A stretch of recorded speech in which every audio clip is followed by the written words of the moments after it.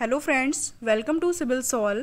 Next topic that is design of rotary तो अभी आपने ट्रैफ़िक कंट्रोल डिवाइसेस में कुछ पॉइंट्स पढ़े। पहले तो आपने सिग्नल्स के बारे में पढ़ा साइंस के बारे में पढ़ा। अब है रोटरी जो कि ट्रैफ़िक को कंट्रोल करने के लिए यूज़ की जाती है। तो आईआरसी ने कुछ सजेस्ट किया है कि जो मैक्सिमम अगर वॉल्यूम ट्रैफ़िक का होता है approx three thousand vehicle per hour तो इसको इतने मैक्सिमम वॉल्यूम को भी जो रोटरी है, वो ईजिली हैंडल कर सकती है। और मिनिमम वॉल्यूम अगर 5000 व्हीकल पर आर है तो आप रोटरी को डिज़ाइन कर सकते हैं।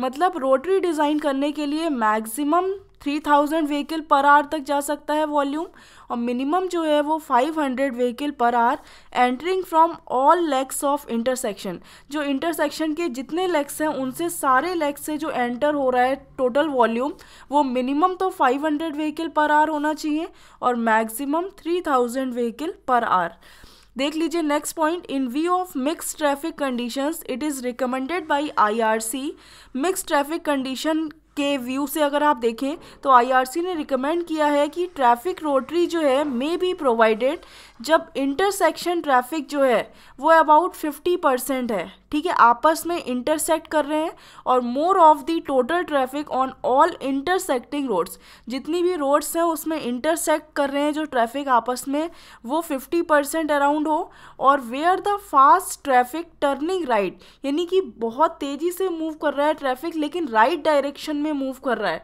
तो वो अगर एटलीस्ट टोटल ट्रैफ़िक का थर्टी परसेंट हो तो आप रोटरी को जो है वो प्रिफर कर सकते हैं। क्लियर है? तो रोटरी के बारे में देख लीजिए। रोटरी बेसिकली कुछ इस टाइप की होती है। जैसे लेग्स प्रोवाइड कर देते हैं। ठीक है? और यहाँ पे एक सेंट्रल आइलैंड बना देते हैं। ये कहलाता है सेंट्रल आइलैंड और यहाँ से ये रेडियस जो होती है कहलाती है radius of central island clear है? यहाँ पे हर लेग्स पर जो है, ये स्प्लिटर आइलैंड प्रोवाइड कर देते हैं। कुछ इस टाइप का आइलैंड आपने देखा होगा, बना हुआ। क्लियर है? तो ये स्प्लिटर आइलैंड्स जो हैं, हर लेग्स पर प्रोवाइड कर देते हैं। जिससे जो भी ट्रैफ़िक है, वो अपनी ही डायरेक्शन में ईजिली मूव कर सके। ऐसा ना हो कि उसी रोड पर आपस में जितने भी ट्रैफ़िक है ट्रैफ़िक वॉल्यूम है या जो भी ट्रैफ़िक है, वो आपस में ही सेम रोड पे ही टकरा जाए। क्लियर है? तो स्प्लिटर ये कहलाता है स्प्लिटर आइलैंड और अगर आप बात करें कि एक स्प्लिटर आइलैंड के एडजसेंट स्प्लिटर आइलैंड के बीच की जो लेंथ होती है क्लियर है? तो वो कहलाती है आपकी वीविंग लेंथ ये आपकी कहलाती है वीविंग लेंथ या आप ये कह सकते हैं कि distance between two adjacent splitter island splitter island distance between two adjacent splitter island के बीच की डिस्टेंस या आप कह सकते हैं वीविंग लेंथ और जो सेंट्रल आइलैंड से जो विथ यहाँ पे ओवरऑल जो विथ होती है सपोज़ ये डब्ल्यू है, जहाँ से आप कर्व देख रहे हैं, यानी जो लेग्स के बीच की सेंट्रल आइलैंड से जो डिस्टेंस होती है, वो आपकी कहलाती है डब्ल्यू या इसको आप ये कह सकते हैं कि ये हो गई विथ ऑफ़ रोटरी भी इसको बोलते हैं, या आप कह सकते हैं वीविंग सेक्शन यानी कि width of weaving section clear है? अब यहाँ पे देख लीजिए कि ये जो है, ये ओवरऑल यहाँ से यहाँ तक आप देख रहे हैं कैरेज वे होगा, यानी रोड है एक, जिसको कैरेज वे कह रहे हैं। तो यहाँ से यहाँ तक की जो डिस्टेंस है सिंपली इसको कहते हैं अप्रोच विथ जो अप्रोच विथ है, वो क्या होगी? कैरेज वे की हाफ़ होगी। यहाँ पे ओवरऑल कोई भी व्हीकल आया, वो यहाँ से एंट्री करेगा। तो ओवरऑल यहाँ पे जो विथ होती है। इसको ईवन से डिनोट करते हैं, जहाँ ईवन क्या है आपकी? एंट्री विथ क्लियर है? और जहाँ एग्ज़िट करेगा, यानी सपोज़ यहाँ से एग्ज़िट हो रहा है तो ये ओवरऑल ये जो विथ हो गई, इसको ई e टू से डिनोट कर देते हैं। तो ई e टू आपकी क्या हो गई? एग्ज़िट विथ क्लियर है? तो इसकी जो रेडियस होती है, यहाँ की अगर बात करें तो ये आपकी इस कर्व की रेडियस हो गई, ये आर एंट्री हो गई, यानी एंट्री कर्व की रेडियस और यहाँ पे अगर आप बात करें तो ये जो रेडियस हो गई आपकी, ये हो गई आर एग्जिट यानी एग्जिट रेडियस क्लियर है? तो जनरली जो एग्जिट रेडियस होती है, वो हमेशा एंट्री रेडियस से ज़्यादा रखते हैं। ये हो गई आपकी रेडियस ऑफ़ सेंट्रल आइलैंड ठीक है? तो ये जनरली जो है रोटरी होती है, यानी हर लेग से जितना भी ट्रैफ़िक टोटल एंटर कर रहा है तो मैक्सिमम अगर वॉल्यूम 5000 व्हीकल पर आर है, और अगर मिनिमम जो है 500 व्हीकल पर आर है तो आप क्या प्रेफर कर सकते हैं? रोटरी को प्रेफर कर सकते हैं। ऑब्जेक्टिव्स में ये वैल्यूज़ जो है, पूछ लेते हैं। आपको ध्यान होनी चाहिए। क्लियर है? अब बात करते हैं कुछ शेप ऑफ़ रोटरी की। तो जनरली अगर आप बात करें शेप की शेप ऑफ़ रोटरी तो जनरली जो है डिफरेंट शेप में प्रोवाइड करते हैं रोटरी को। जैसे कि आप सर्कुलर रोटरी भी प्रोवाइड कर सकते हैं। सर्कुलर रोटरी आप तब प्रोवाइड करते हैं जब हर लेग से ट्रैफ़िक जो है लगभग इक्वल आ रहा हो। क्लियर है? यानी सारी लेग पे इक्वल ट्रैफ़िक इंपॉर्टेंट हो। जनरली कहीं कहीं पर आपने देखा होगा इलेप्टिकल जो है रोटरी भी प्रोवाइड कर देते हैं। कहीं कहीं पर जो है, कुछ इस टाइप की प्रोवाइड करते हैं रोटरी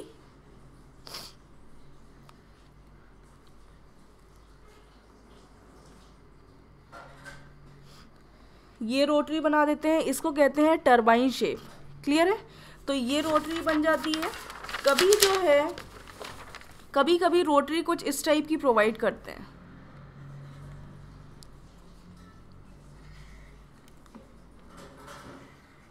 ठीक है? ये रोटरी जो आपकी कहलाती है टेंजेंशियल रोटरी टेंजेंशियल रोटरी जो है, आप जनरली तब प्रोवाइड करते हैं जब किसी लेग पे इंपॉर्टेंट नहीं है, ज़्यादा ट्रैफ़िक नहीं है और किसी लेग पे ज़्यादा ट्रैफ़िक है। तो इस टाइप की आप टेंजेंशियल रोटरी जो है, वो प्रोवाइड कर देते हैं। आगे देख लीजिए कि when two roads are equally important जब दोनों ही रोड्स इक्वली इंपॉर्टेंट है, यानी सारी रोड्स जो हैं वो इक्वली इंपॉर्टेंट है तो सर्कुलर शेप रोटरी प्रीफर करते हैं।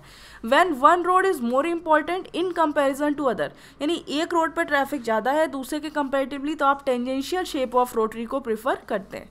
कुछ टर्म्स आते हैं डिज़ाइन स्पीड्स के रोटरी के तो जनरली जब कोई भी व्हीकल रोटरी में आता है तो वो अपनी स्पीड को थोड़ा सा रिड्यूस कर लेता है। क्लियर है?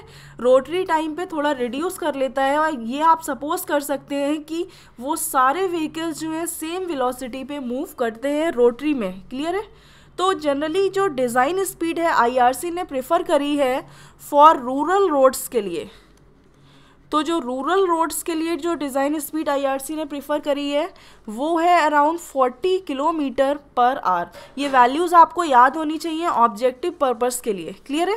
वही अगर फॉर अर्बन रोड्स की आप बात करें तो अर्बन रोड्स पे लिए जो आईआरसी ने प्रीफर करी है, जो डिज़ाइन स्पीड है रोटरी पे, वो थर्टी किलोमीटर पर आर रहनी चाहिए।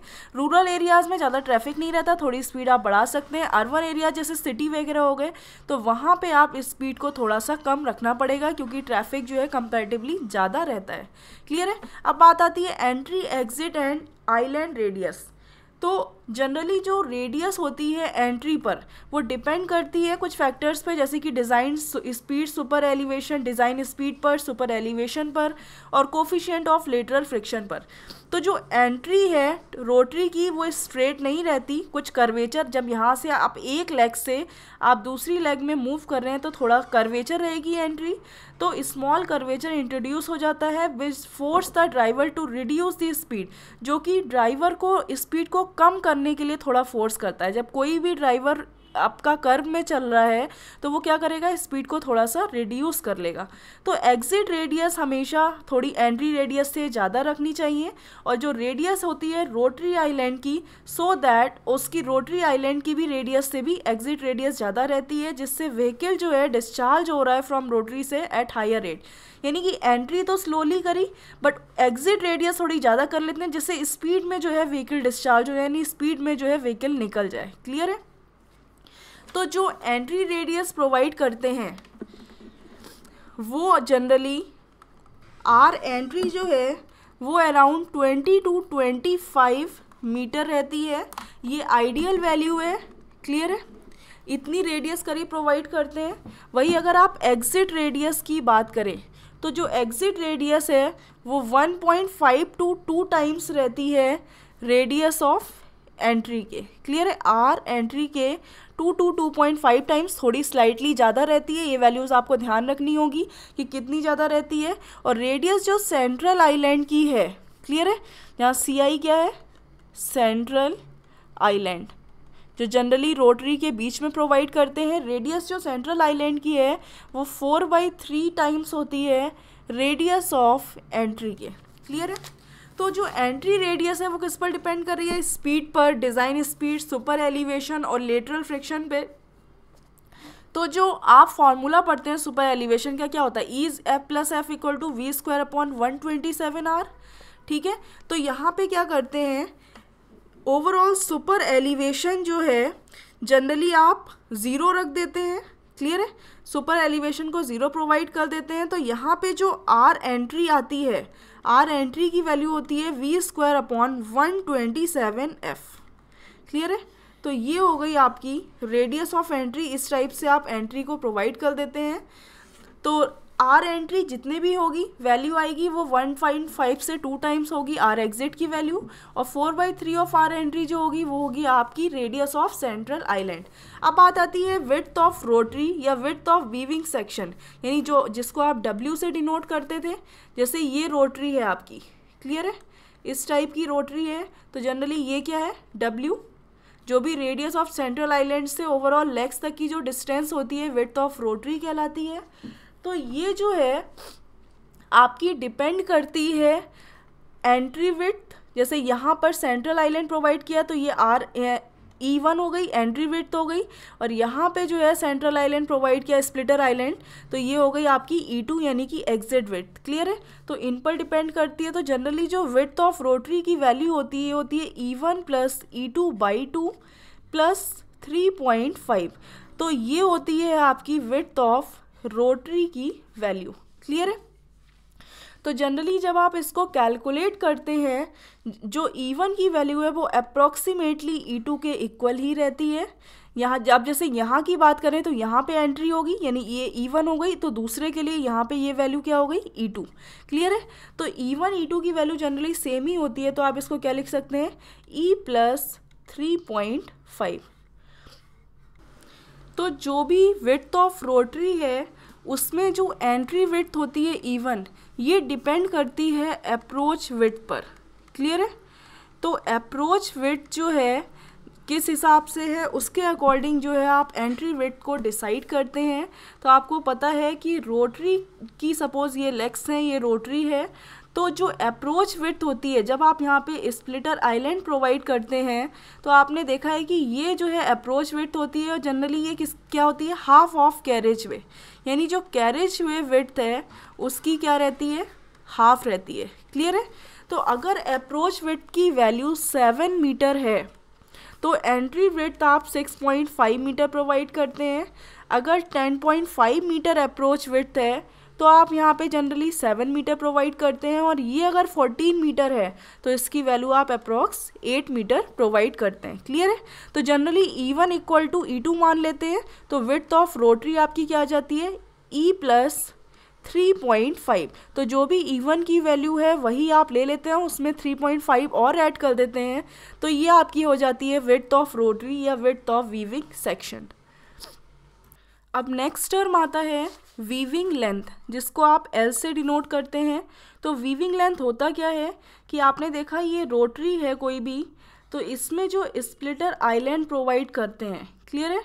तो एडजसेंट स्प्लिटर आइलैंड के बीच की जो लेंथ होती है, यानी कि पास वाले स्प्लिटर आइलैंड के जो बीच की लेंथ होती है, वो आपकी क्या कहलाती है? वीविंग लेंथ क्लियर है? तो ये जो है इसलिए डिटरमाइन करते हैं कि आपको पता चल सके कितना स्मूथली ट्रैफ़िक एक दूसरे के साथ मर्ज कर रहा है और कितना स्मूथली डाइवर्ज हो रहा है। अगर ये लाइन ज़्यादा प्रोवाइड कर दी तो क्या होगा कि जो भी व्हीकल मूव कर रहा है, उसको ज़्यादा स्पेस मिल गया।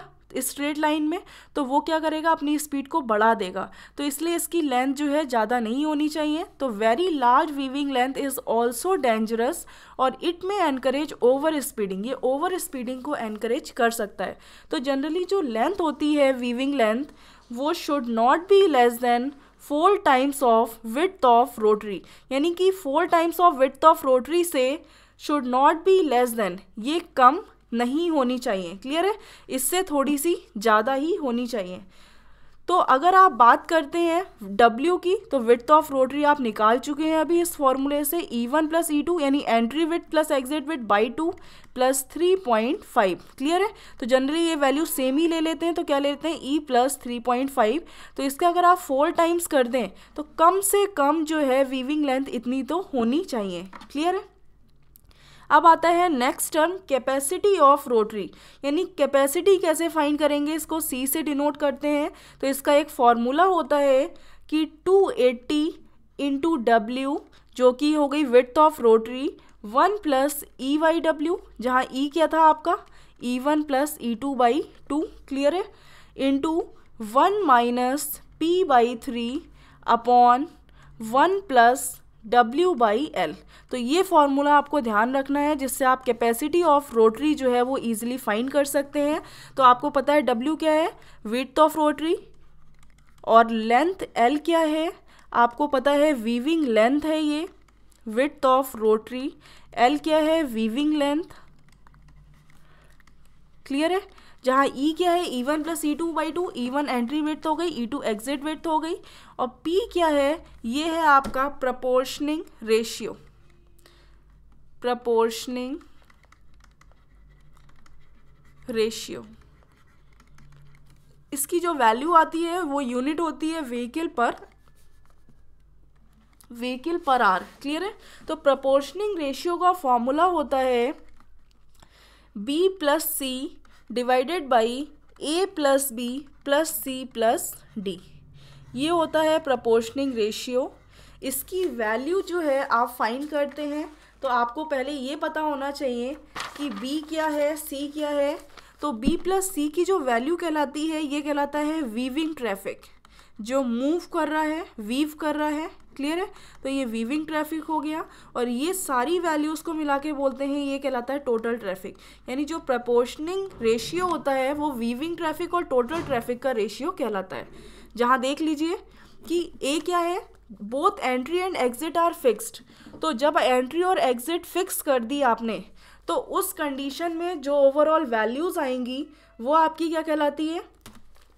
ए एंट्री फिक्स कर दी, यानी कि एंट्री फिक्स है, एग्जिट फिक्स नहीं है। सेकंड केस में जब एग्जिट फिक्स कर दी और डी क्या है, passes from entry and exit. मतलब जो ट्रैफ़िक वॉल्यूम आपको मिल रहा है एक कंडीशन में, एंट्री और एग्जिट जब आपने फिक्स कर दी। सपोज़ आपने क्या किया कि ये एक बार एक रोटरी ले ली, जो फोर लेग्स की रोटरी है, सपोज़, ये फोर लेग्स वाली रोटरी ले ली तो ये वन मान लिया ये टू मान लिया, ये थर्ड लेग हो गई और ये फोर्थ लेग हो गई।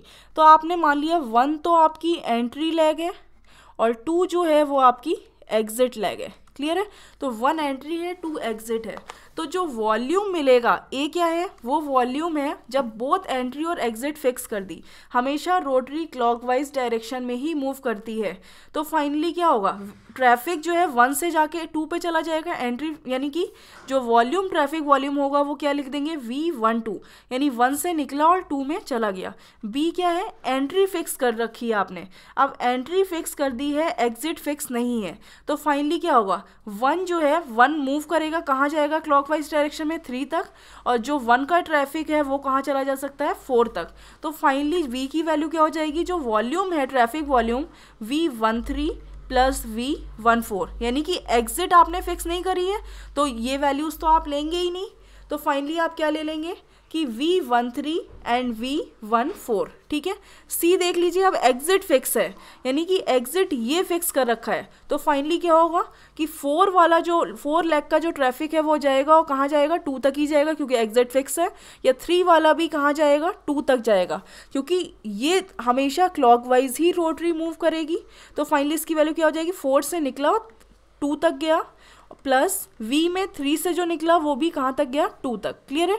अब डी में क्या है? Passes from entry and exit entry ना ना एंट्री फिक्स है, ना एग्जिट फिक्स है। लेकिन इन दोनों से पास होके जा रहे हैं। तो फाइनली क्या होगा? जो फोर से निकलेगा ट्रैफ़िक अब वो वन टू से पास होते हुए एंट्री एंट्री और एग्जिट से पास होते हुए किसमें चला जाएगा? थ्री में।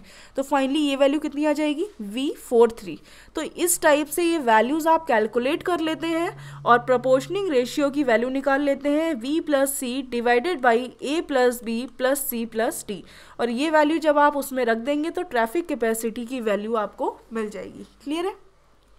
एक क्वेश्चन देख लीजिए। क्वेश्चन क्या कह रहा है? कि अप्रोच रोड्स दे रखी हैं north east south and west clear है? जिसमें लेफ़्ट टर्निंग स्ट्रेट और राइट टर्निंग ट्रैफ़िक जो है आपको गिवन है। तो सपोज़ आपने रोटरी बना ली। तो आपने जो रोटरी बनाई तो ये क्या हो गई? सपोज़ फोर लेग्स वाली हो गई, क्योंकि चार डायरेक्शंस गिवन है आपको क्वेश्चन में। तो सपोज़ ये हो गई आपकी रोटरी तो आपको पता है ये नॉर्थ डायरेक्शन हो गई, ये साउथ डायरेक्शन हो गई, ये ईस्ट हो गई और ये वेस्ट हो गई, ठीक है? तो आप क्या कह रहे हैं कि नॉर्थ से देख रहे हैं अप्रोच रोड क्या है? नॉर्थ है, यानी कि यहाँ से जो है ट्रैफ़िक ये अप्रोच हो गई। तो फाइनली आपको पता है कि लेफ़्ट टर्निंग ट्रैफ़िक यानी नॉर्थ से लेफ़्ट कहाँ मूव करेगा? ये डायरेक्शन हो गई। तो लेफ़्ट टर्निंग ट्रैफ़िक कितना है? फोर वन फाइव क्लियर है? स्ट्रेट टर्निंग ट्रैफ़िक कितना है?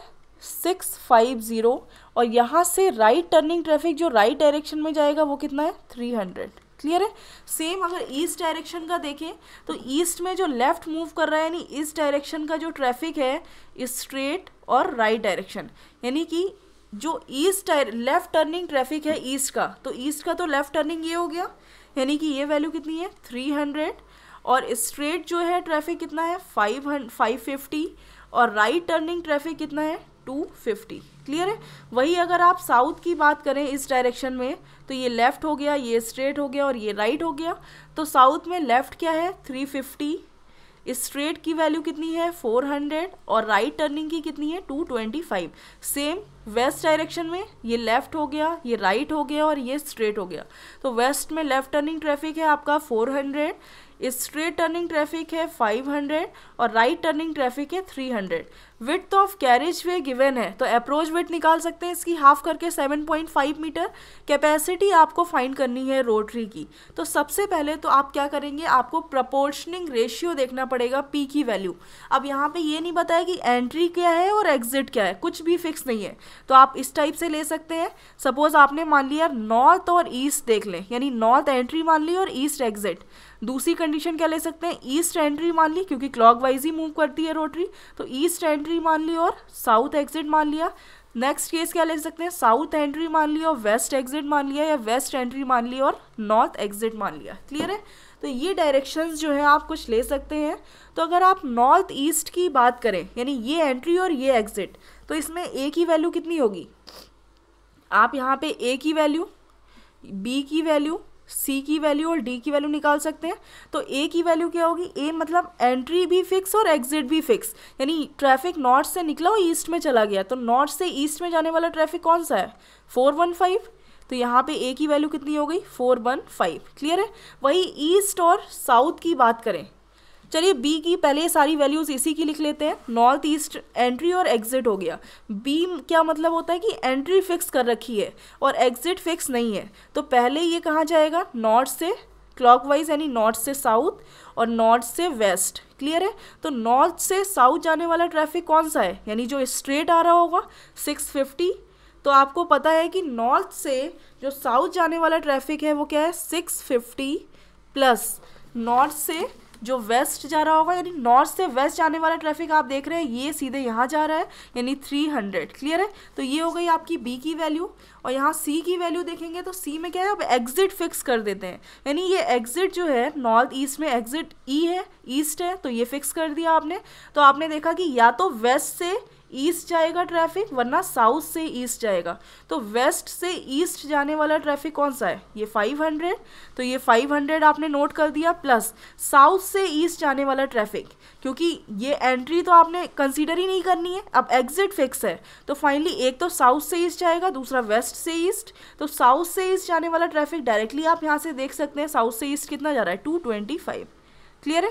सिमिलरली अब डी निकाल लें कि एंट्री और एग्जिट से बस पास हो रहा हो ट्रैफ़िक और एंट्री और एग्जिट को कोई भी फिक्स नहीं किया है। तो आपको पता है कि जब वेस्ट से निकला हुआ ट्रैफ़िक साउथ में जाएगा तो इससे पास होते हुए जाएगा।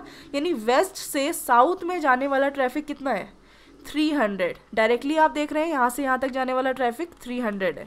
क्लियर है? तो इस टाइप से जो है आपको नॉर्थ ईस्ट अगर आपने एंट्री फिक्स करी तो आपको ये वैल्यूज़ मिल गई। तो यहाँ से आप प्रपोर्शनिंग रेशियो की वैल्यू निकाल सकते हैं। प्रपोर्शनिंग रेशियो का फॉर्मूला क्या होता है? B plus C divided by A plus B plus C plus D तो इसके लिए प्रपोर्शनिंग रेशियो की वैल्यू कितनी आ जाएगी? Zero point seven zero. Same east west east south condition देख लीजिए। अब ईस्ट एंट्री हो गई साउथ एग्जिट तो ए की वैल्यू क्या हो गई? एंट्री और एग्जिट दोनों ही फिक्स है, यानी ईस्ट से साउथ में जाने वाला ट्रैफ़िक तो ईस्ट से साउथ में जाने वाला ट्रैफ़िक कौन सा है? ये लेफ़्ट डायरेक्शन वाला थ्री हंड्रेड यानी ए की वैल्यू क्या हो गई? थ्री हंड्रेड हो गई आपकी। फिर आपको बी की वैल्यू चाहिए, यानी एंट्री फिक्स कर दी। अब एंट्री क्या हो गई? ईस्ट क्लियर है? तो एंट्री फिक्स कर रखी है। तो ईस्ट वाला ट्रैफ़िक क्लॉकवाइज मूव करेगा वेस्ट तक जाएगा और ईस्ट वाला ट्रैफ़िक नॉर्थ तक जाएगा। यानी ईस्ट से वेस्ट जाने वाला ट्रैफ़िक कौन सा? ये स्ट्रेट वाला 550 ठीक है? प्लस ईस्ट से साउथ नॉर्थ जाने वाला ट्रैफ़िक ईस्ट से नॉर्थ जाने वाला ट्रैफ़िक कौन सा है? 250 तो ये हो गई वी की वैल्यू सी मतलब एग्जिट फिक्स कर दिया आप साउथ जो एग्जिट है तो ये फिक्स हो गया है। तो अब ईस्ट का तो कोई मतलब नहीं रहा एंट्री का कोई मतलब नहीं है, इन दोनों का देखते हैं। तो नॉर्थ से साउथ यानी एग्जिट नॉर्थ वाला जो ट्रैफ़िक है, वो सीधे एग्जिट यहाँ साउथ से ही करेगा और वेस्ट वाला ट्रैफ़िक भी एग्जिट कहाँ से करेगा? साउथ से। तो नॉर्थ से साउथ तक जाने वाला ट्रैफ़िक कितना है? सिक्स फिफ्टी ठीक है? और वेस्ट से साउथ आने वाला ट्रैफ़िक कितना है? थ्री हंड्रेड तो इस टाइप से ईस्ट और साउथ की वैल्यूज़ मिल गई। यानी कि ईस्ट एंट्री हो गई, साउथ एग्जिट हो गई तो इसके लिए वैल्यूज़ आपकी क्या आ गई? Six fifty six fifty plus three hundred. अब बात करते हैं डी की, यानी एंट्री और एग्जिट जो है, कोई भी फिक्स नहीं है, बस इससे पास हो रहा है ट्रैफ़िक। तो नॉर्थ से आने वाला ट्रैफ़िक इससे पास होते हुए कहाँ तक आएगा? वेस्ट तक। तो नॉर्थ से वेस्ट आने वाला ट्रैफ़िक कितना है? तो आप देख रहे हैं, नॉर्थ से वेस्ट आने वाला ट्रैफ़िक कितना है? Three hundred. क्लियर है? तो ये ओवरऑल ईस्ट साउथ डायरेक्शन की वैल्यूज़ आपको मिल गई। इसको जब आप सॉल्व करेंगे तो प्रपोर्शनिंग रेशियो की जो वैल्यू मिल जाएगी आपको, वो आपकी आ जाएगी zero point seven four four clear है? सिमिलरली आप साउथ की वैल्यूज़ देख सकते हैं। साउथ वेस्ट अगर आपने फिक्स कर लिया ए की वैल्यू थ्री फिफ्टी आ जाएगी।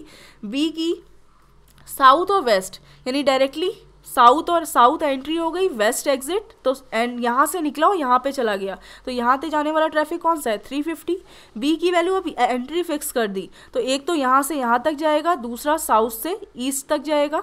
तो आपको पता है, साउथ से नॉर्थ जाने वाला ट्रैफ़िक फोर हंड्रेड है और साउथ से ईस्ट जाने वाला ट्रैफ़िक टू ट्वेंटी फाइव है। तो four hundred plus two twenty five. Similarly C देख लीजिए, अब एग्जिट फिक्स कर दी, यानी एग्जिट वेस्ट है। तो ईस्ट से आने वाला ट्रैफ़िक वेस्ट जाएगा और नॉर्थ से आने वाला ट्रैफ़िक भी वेस्ट में ही जाएगा। तो ईस्ट से वेस्ट तक जाने वाला ट्रैफ़िक कितना है? 550 और नॉर्थ से वेस्ट जाने वाला ट्रैफ़िक कितना है? 300 क्लियर है? तो यहाँ पे क्या हो जाएगा? 550 प्लस थ्री हंड्रेड डी देख लीजिए कि ये दोनों फिक्स हैं, बस इससे पास हो रहा है। यानी ईस्ट से आने वाला ट्रैफ़िक जो पास होते हुए कहाँ तक जाएगा? नॉर्थ तक। तो ईस्ट से नॉर्थ में जाने वाला ट्रैफ़िक कितना है? टू फिफ्टी तो इसके लिए प्रपोर्शनिंग रेशियो की सॉरी टू फिफ्टी है। इसके लिए प्रपोर्शनिंग रेशियो की वैल्यू आप निकाल लेंगे zero point seven one similarly अब आप वेस्ट और नॉर्थ के लिए देख लीजिए, ये एंट्री है और ये एग्जिट है। यानी एंट्री फिक्स है और एग्जिट फिक्स है। यहाँ से निकला ट्रैफ़िक और सीधे यहाँ चला गया। तो वेस्ट से नॉर्थ जाने वाला ट्रैफ़िक कौन सा है? 400 तो ए की वैल्यू 400 हो गई। अब एंट्री फिक्स कर दी। एग्जिट मतलब नहीं है। तो एंट्री फिक्स है, यहीं से ट्रैफ़िक आएगा सारा। तो यहाँ से आया क्लॉक पास होते हुए ईस्ट में गया और यहाँ से आया पास होते हुए साउथ में गया। यानी वेस्ट से ईस्ट में जाने वाला ट्रैफ़िक 500 है और वेस्ट से साउथ में जाने वाला ट्रैफ़िक 300 है।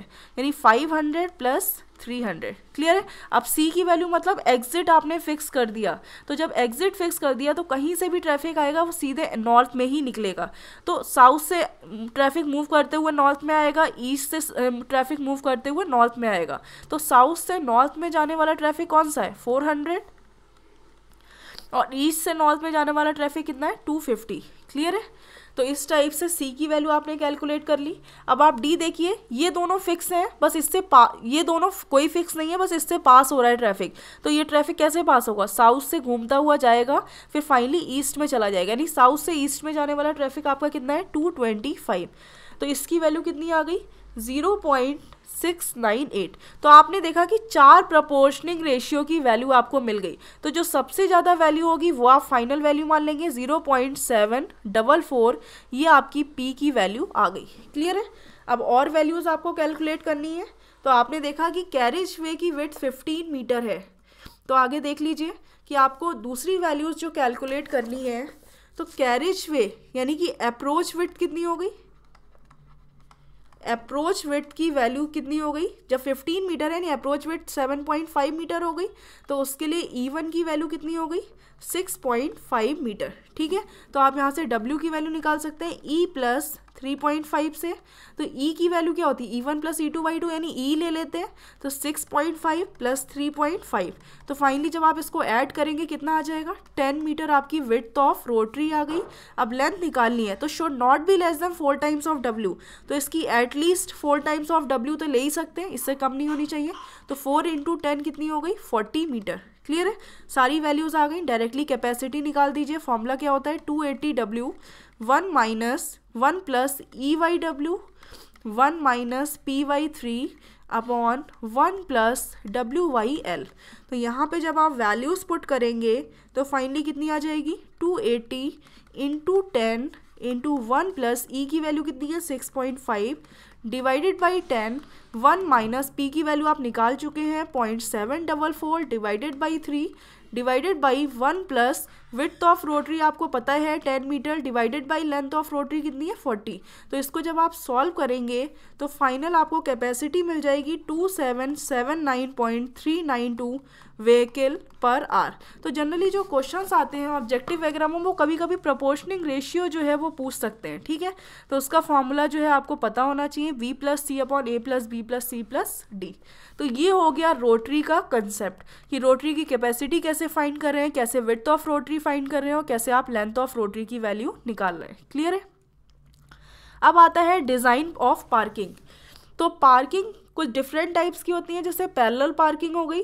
तो पैरेलल पार्किंग कुछ इस टाइप की होगी कि सपोज़ एक व्हीकल जो है अलोंग दी लेंथ खड़ा है, फिर उसको कुछ स्पेस दे के दूसरा व्हीकल अलोंग दी लेंथ खड़ा है, फिर तीसरा स्पेस यानी पैरेलली जो है सारी प्लेस्ड है। तो जब पैरेलली प्लेस्ड है तो इनके बीच की जहाँ एन जो है सपोज़ कंसीडर कर लिया number of spaces per vehicle यानी कि पर व्हीकल नंबर ऑफ़ स्पेस कितना है? क्लियर है? इतना स्पेस छोड़ा, फिर ये स्पेसेस हैं। तो कैसे कैलकुलेट करेंगे? तो इसकी जो लेंथ होती है व्हीकल की सपोज़ वो कंसीडर कर ली सिक्स पॉइंट सिक्स मीटर तो मैक्सिमम इतनी लेंथ कंसीडर कर ली। तो जो नंबर ऑफ़ स्पेसेस आते हैं पैरेलल पार्किंग के लिए, वो आ जाता है कि लेंथ ऑफ़ रोड यानी सपोज़ टोटल लेंथ कितनी है रोड की? ये हो गई लेंथ ऑफ़ रोड क्लियर है? तो ये मान ली एल डिवाइडेड बाई अगर आप एक व्हीकल से डिवाइड कर दें लेंथ से तो आपको नंबर ऑफ़ स्पेसेस मिल जाएँगे। तो L divided by six point six ये पैरेलल पार्किंग के लिए होती है। ये आपको वैल्यूज़ याद रखनी पड़ेगी क्वेश्चन में आ जाता है। अगर थर्टी डिग्री एंगल पार्किंग है तो थर्टी डिग्री में कुछ इस टाइप से प्लेस होंगी। व्हीकल ये प्लेस हो गया, ये एंगल थर्टी डिग्री है। फिर दूसरा व्हीकल जो है कुछ इस टाइप से प्लेस होगा। तो ये जो है, ये भी थर्टी डिग्री पे है। तो इनके बीच की जो स्पेसिंग रहती है, वो आप कैलकुलेट करते हैं L N equal to L minus zero point eight five divided by five point one इस फॉर्मूले की हेल्प से जो है आप थर्टी डिग्री एंगल अगर पार्किंग है तो आप निकालेंगे। अगर फोर्टी फाइव डिग्री पार्किंग है, यही एंगल कितना हो गया? फोर्टी फाइव डिग्री तो जनरली जो आप कैलकुलेट करेंगे N equal to L minus two divided by five point one तो इस फॉर्मूले की हेल्प से आप फोर्टी फाइव डिग्री पार्किंग के लिए कैलकुलेट करेंगे। अगर पार्किंग सिक्सटी डिग्री है तो आप कैलकुलेट करते हैं N equal to number of spaces जो है L minus two divided by two point nine इस फॉर्मूले की हेल्प से आप सिक्सटी डिग्री पार्किंग अगर नाइन्टी डिग्री पार्किंग है नाइन्टी मतलब इस टाइप से व्हीकल प्लेस है, ठीक है? नाइन्टी डिग्री पे प्लेस्ड है तो जो नंबर ऑफ़ स्पेसेस होते हैं that is L upon two point five ठीक है? तो अगर 2.5 से डिवाइड कर देंगे तो ये 90 डिग्री पार्किंग आपको मिल जाएगी। तो ये कुछ नंबर ऑफ़ स्पेसेस हैं। अलग अलग एंगल पे अगर पार्किंग जो है प्लेस कर रहे हैं पार्क कर रहे हैं आप व्हीकल को तो आपको नंबर ऑफ़ स्पेसेस कितना रखना पड़ेगा। Thank you friends